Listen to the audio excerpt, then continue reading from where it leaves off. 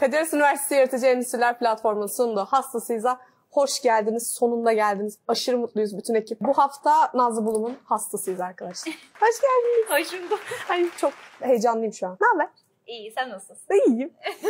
nasıl, yani gününüz nasıl geçiyor? Genelde Ee, günüm güzel geçiyor, yoğun.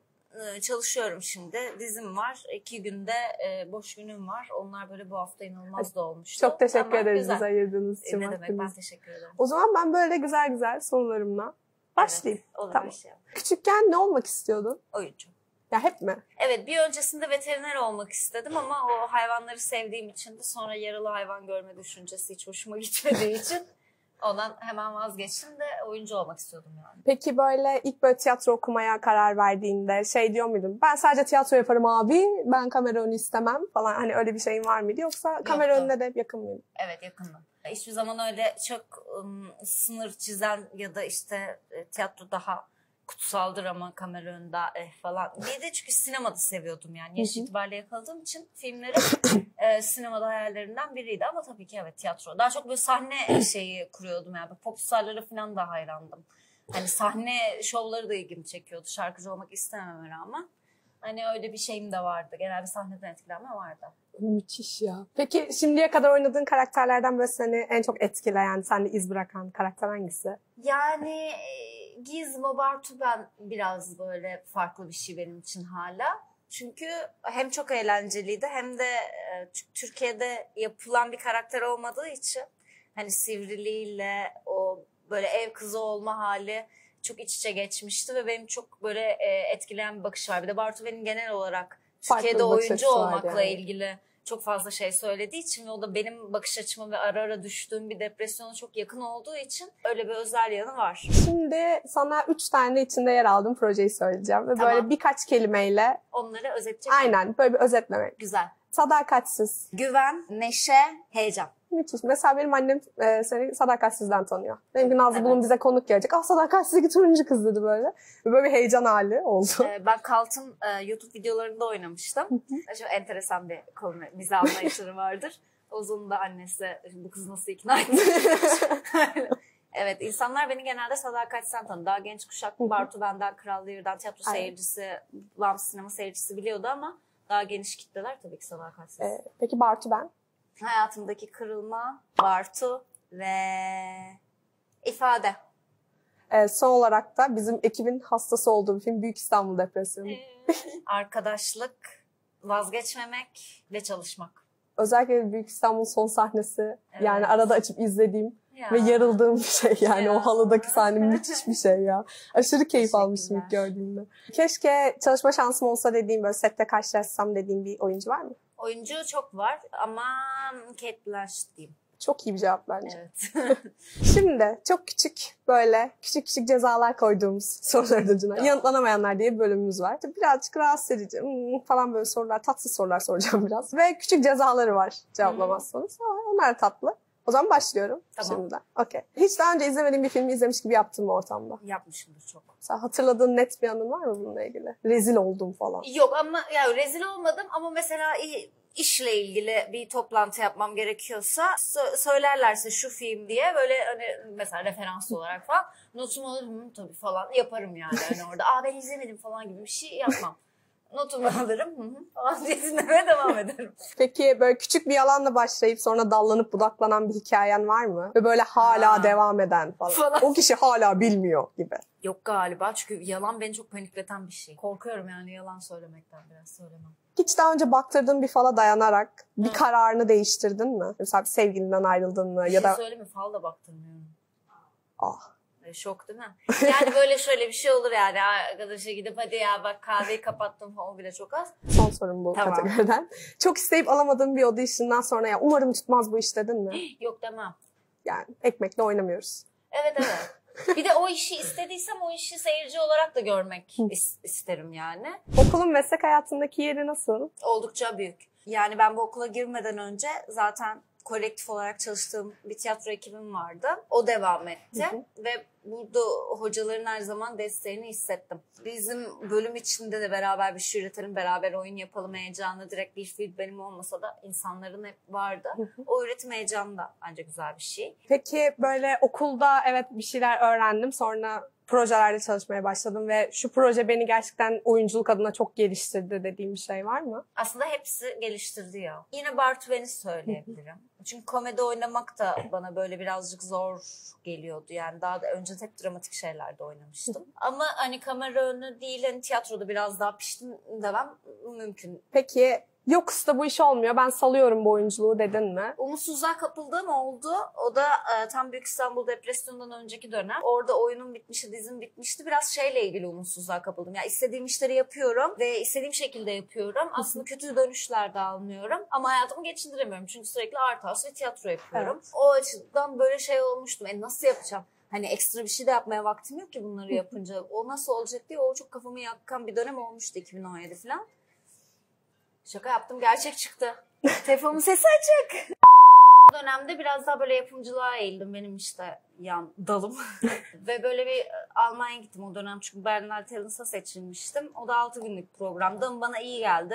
Vizem vardı, dizim bitmişti. Hani bunu maddi olarak da karşılayabilirdim. O yüzden böyle bir Almanya'da kaldım bir sene falan. Sonra Kral Lear'la geri döndüm. Ve o dönemde tam Büyük İstanbul Depresyonu karşıma çıktı senaryo olarak. Ve o beni çok şey yaptı. Çok hayata ve mesleğe tekrar bağladı bu kadar. Benim de derdim olan bir şeyin yapımcılığını üstlenmek ve onu gerçekleştirme süreci bana bayağı iyi geldi. Büyük İstanbul aslında biz bütün öğrencilerin hem şu anda mezun olduktan sonra da yaşadığı böyle o bitkinliği. Ben mesela çok hissetmiştim izlerken. Ben de hissediyorum böyle falan diye. Biz sizi araştırırken bir sürü siteye girdik çıktık.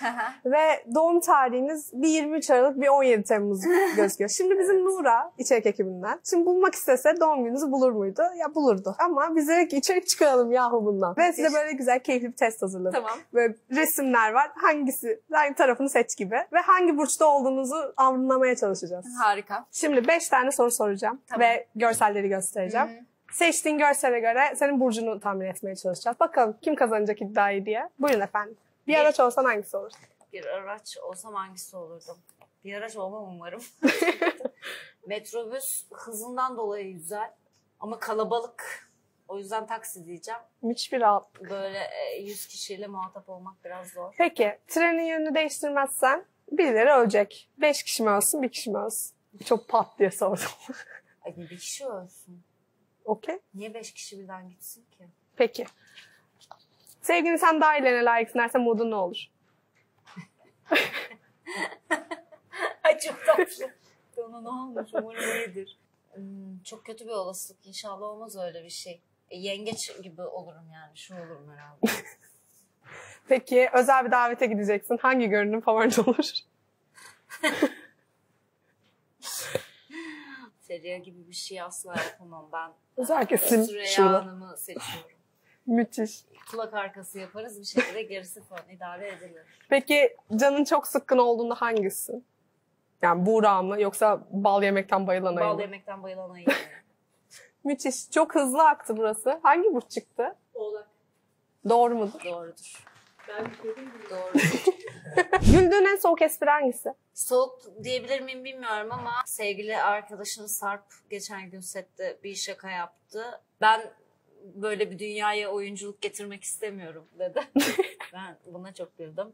Ee, Ben de soğuk bir espri diyebiliriz galiba buna. Ee, peki bize hastası olduğun üç film söyler misin? Hastası olduğum üç film. Ya son dönem izlediklerimle her zaman çok sevdiklerim arasında gidip geliyorum da şimdi. Bir ara Harry Potter'ı çok izliyordum. Son dönem sevdiklerimden söyleyeyim. Olur. E, Petit Mama'yı çok sevdim. Ahed'in dizini çok sevdim. Tamamını bitiremesem de hadi Triangle of Sadness diyeyim. Ee, peki şu anda bize böyle beş şarkılık bir playlist yapmanı istesek, böyle moodunu belirleyecek. Neler eklerdin? Madonna'dan bir şeyler eklerdim. Kings of Convenience eklerdim. Bu arada dinliyorum. Tane Daft Punk olsun. Bir iki tane de daha Güney Amerika taraflarından neşeli bir şeyler seçerdim. Peki e, eğlenceli bir WhatsApp grubu kuracaksın Hı hı. muhabbet için. Ve beş kişi alman gerekiyor. Kimleri alırdın? Ama bu e, alacağın kişilerin hepsini tanımak zorunda değilsin. Ayşegül Aldınç, Zeynep'i alayım. Bastık. Hayal'i alayım. Köseoğlu. Ee, üç oldu. Üç iyi bence. Tam üç yeterli o zaman. Bulamadım. Peki WhatsApp grubun adı ne olurdu?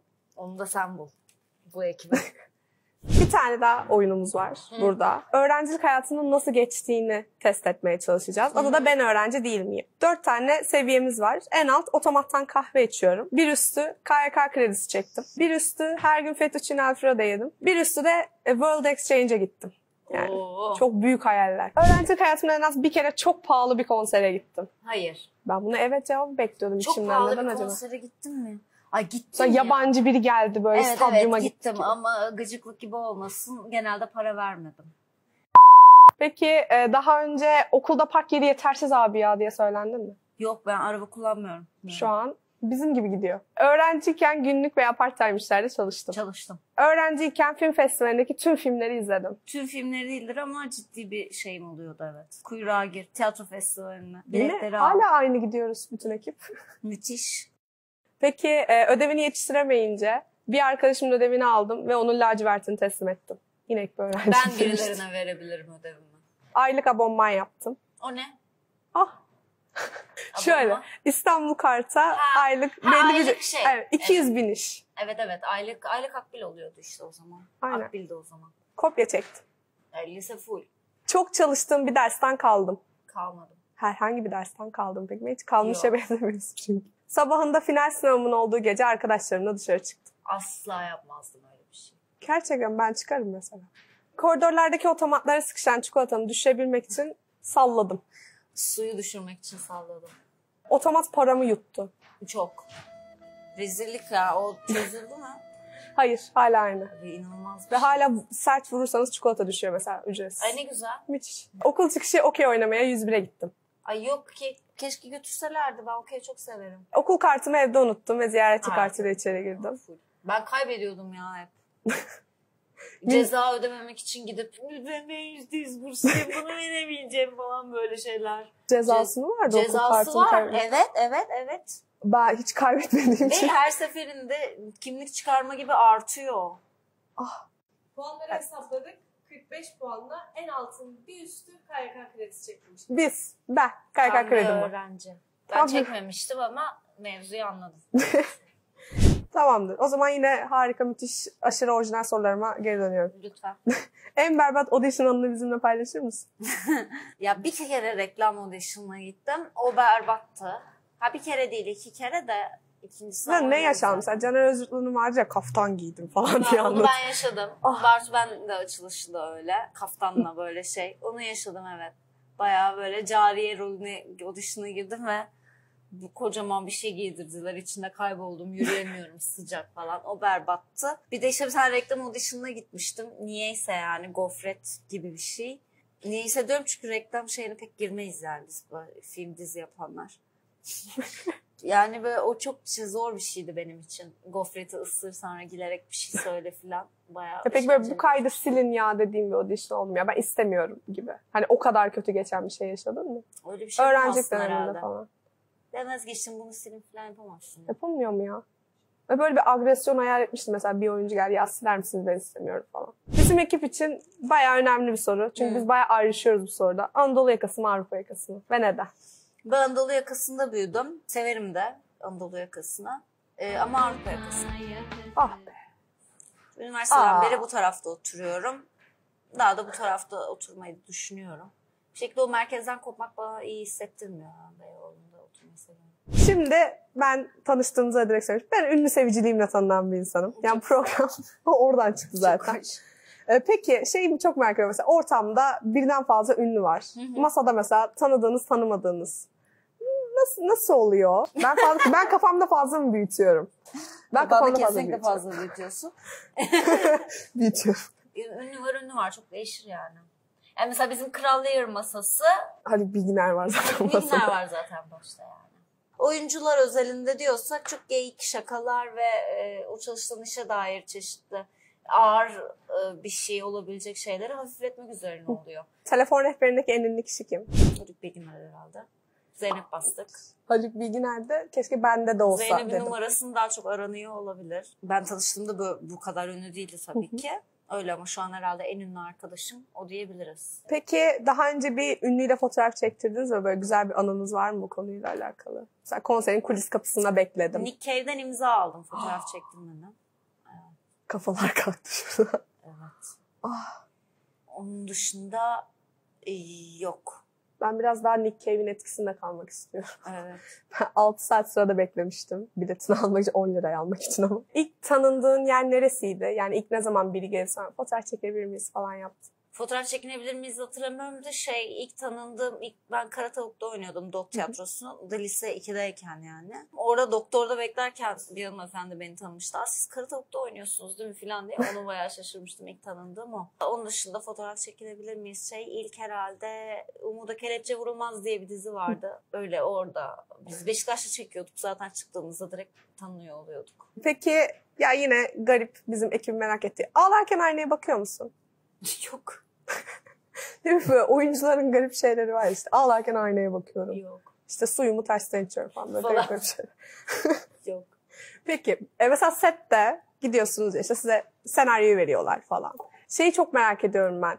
Her bölümün senaryosunu saklıyor musun? Ee, bazı işlerinkine e, ana olsun diye saklıyorum. Üstte notlarım oluyor, bir şeylerim oluyor. Mesela film senaryolarımı saklıyorum. Dizi senaryolarını saklamıyorum. Ya Çok fazla çünkü. Tabii tabii yok. Biriyle yer değiştirmek zorundasın. Tam şu anda. Kiminle yer değiştirdin? Oyuncu mu? Hayatımı mı değiştireceğim? Yani o kişinin bedeninde olacaksın ama zihni yine Nazlı Ben olacak. olacak evet. ama onun hayatını Evet. yaşıyor olacağız. Herkes olabilir yani. Mesela Kanye West'in kafasını görmek isterdim. İçin falan. Yani, gibi. Deli Ha, manyak biri de kadar olabilir. değil. Sonsuza kadar değil. Böyle bir uğrayıp çıkma gibi. Uğrayıp çıkma gibi. uğrayıp çıkma da yani. İyiymiş bu daha iyi. Çünkü sonsuzluğa kadar. Yok kişi sonsuzluk kalacağımı yani. Sonsuza kadar Kanye West olmak ben de istemem. Evet, çok tatsız olurdu. Çok fazla insan olabilir ya. Bu heyecan verici bir fikir. Şöyle bir, birinin kafasına girip çıkmak. Bu arada şunun bilgilendirmesini yapayım. Az önce Kanye West'i karşımıza aldık. Yapmayalım. Bu hiç takılacağını zannetmem. Hepsi bir haberiniz. Peki e, dünyada son günü ve istediğin her yere gidebiliyorsun. Son günün olduğunu da biliyorsun. Nereye giderdin? Gezmek isterdim ya. Birkaç yeri gezeyim. Madem Mesela sonra. nerelere giderdin? Tur gibi düşün. Asya'yı gezerdim. Ve neresi mesela spesifik? Kore falan. Yok ya Kore değil. Tayland'a falan gideyim. Of Tayland Oraları çok iyi ya yemekleri falan değil. Evet. Bir annemlere giderdim. Kuşadası'na. Nasıl rota? Çok iyi. Oradan da bir Brezilya'yı falan göreyim. Bir neşe son bir hani böyle yüksek Karnaval. yerleri olsun. İskandinav ülkelerine de gidebilirim. Bu 24 saati böyle olabildiğince seyahatte Uçakta. kullanabiliyorsak. Uçakta geçirdim son günü berbat. Şimdi son oyunumuz. Sıkıysa yakala. Şimdi ekipten arkadaşlarım 5 tane sana kart verecekler. 5 tane bana verecekler. tamam. Üstlerinde böyle Türkiye'de yaşanması muhtemel olabilecek haberler var. Bunlardan 3 tanesi doğru, 2 tanesi yalan. Hı. Birbirimize inandırmaya çalışacağız. Hepsinin doğru olduğunu. Psikolojik rahatsızlık nedeniyle 24 yıldır yün, orlon ve kadife parçaları yiyen Samsunlu Ane, eşinin çeyizini yediği için terk edildi. Battaniye yediği için de işinden kovuldu. Bu yalandır canım. Böyle saçma şey mi? olur? Yani şöyle mesela adam eşi 38 yaşındaymış Tamam. ve şok geçirmiş yani adamı yerken gördüğü E, için. tabii geçirir. Yani müthiş. Niye yiyorsun kadife zaten? Adam günde bir kez normal yemek yiyormuş. Sonrasındaki böyle ana ve ara öğünleri kadifeyle yünle geçiştiriyormuş. Yalandır. müthiş yani. Bu yalandır. 44 yaşındaymış bir de beyefendi. Yalandır. Doğruymuş ya. Bu gel Nerede dedin? Samsunlu Ane. Eşi de Elmas Ç. Okey. Kız arkadaş tarafından aldatıldığını öğrenen Ade Okey. sevgilisini herkese rezil etmek isteyince kendisi rezil oldu. Sevgilisinin özel fotoğraflarını sosyal medyada yayınlamak isterken yanlışlıkla başka bir kadının fotoğraflarını yayınlayınca onun da kız arkadaşını aldattığı ortaya çıktı. Bu olay yeri de Kırklareli. Çok doğal. 41 olmuştur bu. Bence olmuştur. Ya çünkü sonuçta mesela Edirneli dayıların köprüyü görememe videosu varsa yani 40'lılarda başkasının fotoğrafını paylaşır diye düşünüyorum. Kırklarelileri üzüleceksin. bu öğrenmeye. Yalandı. Ah! Akıklareli'yi de karşıma aldım. Ben Trakyalıyım takılmayın çok. Türkiye Saksıcılar Derneği Başkanı Murat Katık. Saksıcılar Derneği diye bir şey yoktur ya. Hiçbir fikrim yok. Saksı satışlarında yaşanan düşüş nedeniyle pet şişede su satışının yasaklanması yönünde çağrıda bulundu. bu nasıl bir haber ya? Pet şişeye mi ekiyor diye insanlar. Ya evet bu özellikle Bu olmuş olabilir biliyor musun? köylerde falan olur Yemin ya. bile olmuş olabilir bu.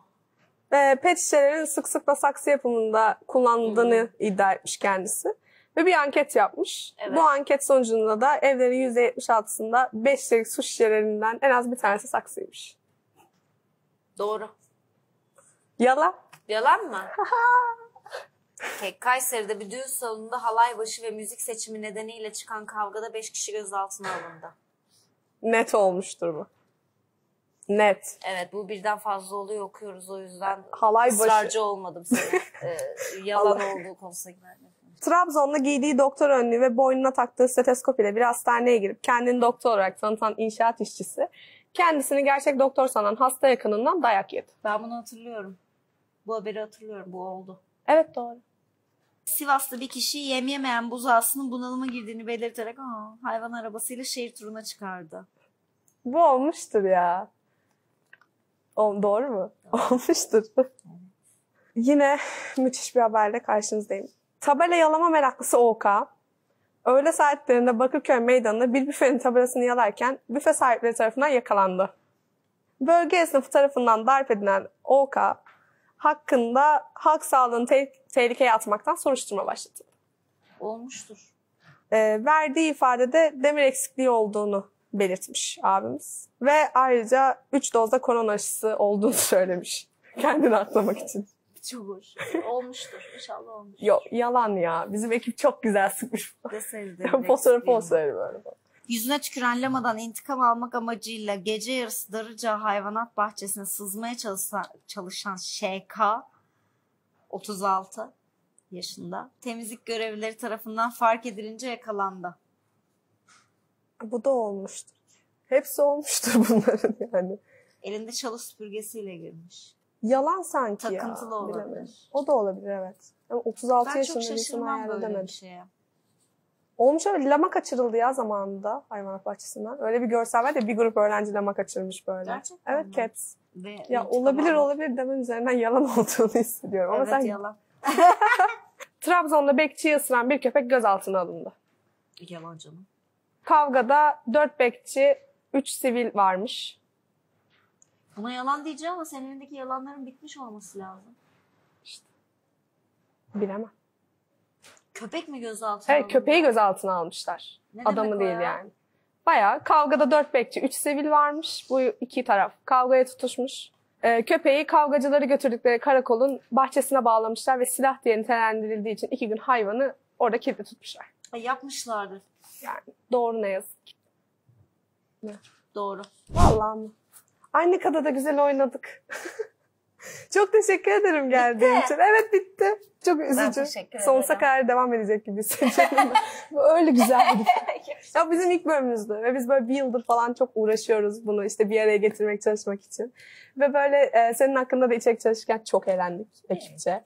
E, çok teşekkür ederiz ilk Ben konumuz teşekkür olduğun ederim. için. Çok güzel oldu benim için. Hayırlı olsun. Ganigen'in kan- konuğunuz olsun. Ay inşallah. o zaman e, Hasta Season bir sonraki bölümüne kadar kendinize müthiş bakın. Hepinize bayılıyorum. Görüşürüz.